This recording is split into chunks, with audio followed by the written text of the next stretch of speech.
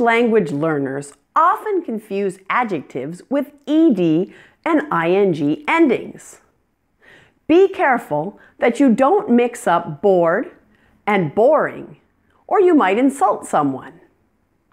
Adjectives with ed endings describe feelings, whereas adjectives with ing endings describe a quality or characteristic of a thing or person.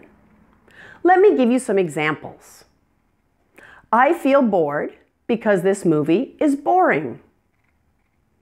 I'm really confused. Calculus is so confusing, and the teacher is boring too. So ed endings can only be used to talk about a person's feelings.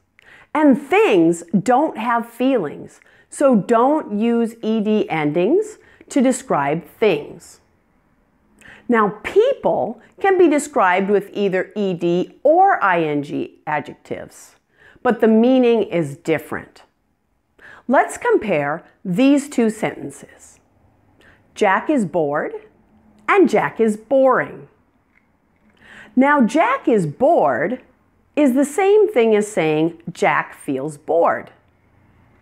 But if you say Jack is boring, you're saying he's not an interesting person and you probably don't want to talk to him because you will feel bored if you do. Got it? Here are a few more common words that have both ed and ing forms. Exciting and excited. Interesting and interested. And frustrating and frustrated. Create some sentences with each of them right now so you don't forget. And then go out and use them. Thanks for watching.